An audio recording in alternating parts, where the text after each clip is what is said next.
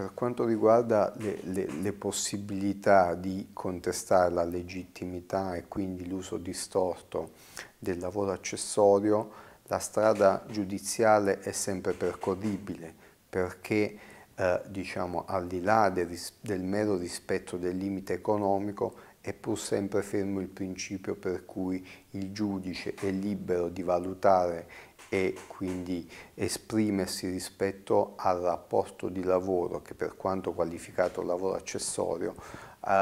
ha, avuto concreta esecuzione e quindi pur sempre il giudice che dovrà verificare caso per caso e volta per volta se il rapporto di lavoro che c'è stato tra un asserito lavoratore accessorio e il committente eh, ha eh, il carattere della subordinazione oppure meno. Questo a maggior ragione laddove siamo in presenza di attività di carattere continuativo e che sono pienamente coincidenti con quello che è l'oggetto sociale dell'impresa committente e quindi si prestano poco ad essere qualificate come accessori occasionali rispetto a quella che è il core business dell'impresa che si avvale di lavoro accessorio.